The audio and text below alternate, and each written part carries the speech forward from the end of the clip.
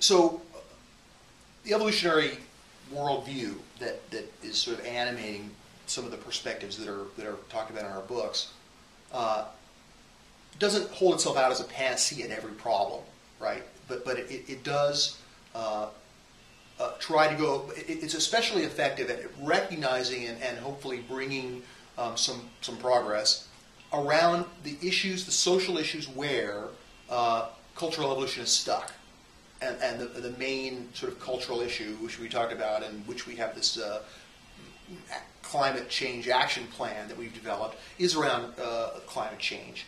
And and there we have the dynamics. We haven't talked about them too much tonight, but, but by talking about these worldview structures, culture evolves, and it evolves in many ways. In some ways, it's a sprawling bush, but in other ways, the evolution has a structure.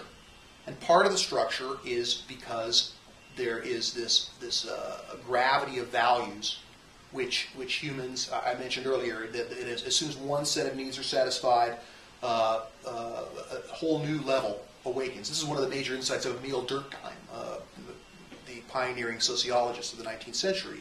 He sort of understood that, that human needs can never be satisfied, and it's not just because we're greedy. It's just because we can we have the freedom to always see new ways to improve. And, and some of the most profound ways that humans have improved their conditions is by improving their definition of what counts as improvement.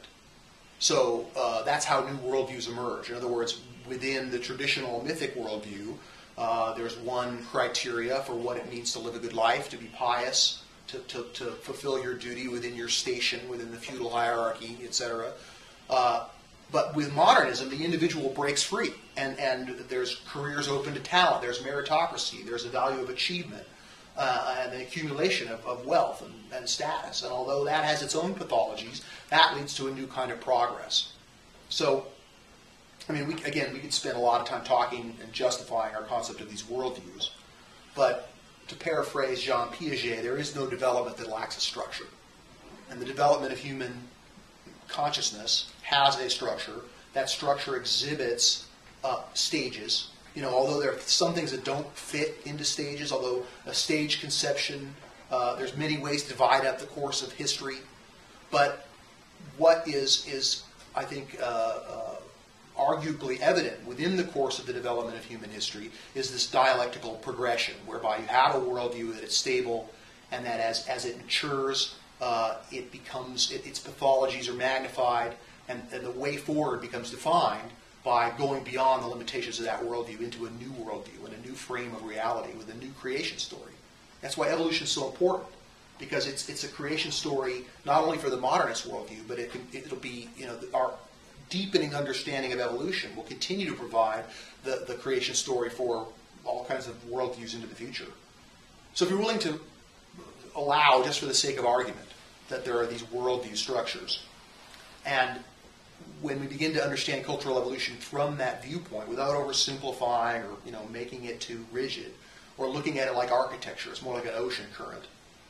These value relationships help explain, for example, why uh, the political will to combat climate change is so uh, uh, so lacking at the moment, despite all the many good reasons beyond any climate change science. Just the political and economic reasons to move beyond fossil fuels uh, are abundant, even if we disagree that fossil fuels are warming the planet. Evolving our economy into renewable energy is a good idea regardless. But uh, the poll numbers, as we talked about this afternoon, um, have been diminishing precipitously for a lot of reasons. You know, there's there's a lot of uh, corporate lobbying. There are now uh, conservative think tanks that seek to debunk climate change science. There is, uh, uh, you know, all kinds of external reasons. But one reason that's not being examined, which this evolutionary perspective helps illuminate, is this dialectical tension between the, the modernist worldview and this emergent postmodern worldview. This, the, the worldview that that although it has many currents and it doesn't, it's not as identifiable as modernism or traditionalism the worldview, the countercultural worldview that emerges beyond modernism, which is characterized by a deep concern for the environment, by multicultural sensibilities, by uh, concern for those who have been previously marginalized and exploited. Um, this worldview, one of the things that it coheres with is, is, is, what all postmodernists, in a sense, have in common is that they reject modernism in its various forms. You know, anti-modernism is the hallmark of postmodernism. And because these value worldviews are, are, are, are dynamic systems, the, the, the, values cohere as sets.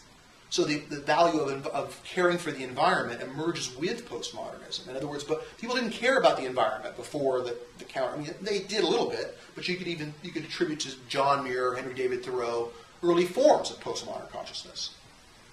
So because concern for the environment is a value that is part of a whole set, a dynamic system of values, and what goes with that concern for the environment is pushing off against modernism, there becomes resistance in the mainstream to environmentalism, not for environmentalism itself, but because environmentalism is, is, uh, has a postmodern flavor, a postmodern characteristic that's hard to eradicate. Although Thomas Friedman has been arguing for years that, that green should be the new red, white, and blue, and although there's all kinds of good reasons for that, for the mainstream, for modernism to embrace concern for the environment, they still resist it.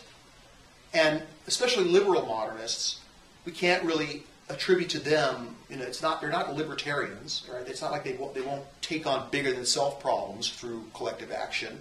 You know, it's, it's, it's, not, uh, uh, it's not that they don't believe in science. Part of what's holding them back in their consensus to generate the political will that can take on you know the solutions that are going to have to be taken on, whatever solutions you believe we should take, they all begin with some kind of political will, which doesn't exist right now.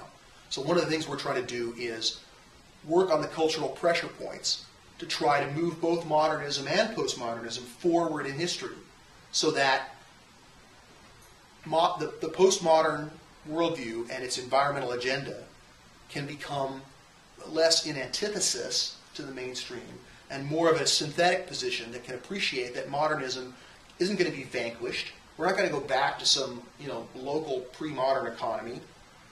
That's the way. The way forward is to embrace this whole system and to make modernism a little bit a little bit more green without necessarily uh, uh, vanquishing the key values of, of, striving to achieve you know and, and accumulating status and, and, and consumerism while certainly some forms of modernism are destructive to the environment and are not sustainable, modernist culture and its economy as itself, I don't think has to be completely eliminated in order to save the planet.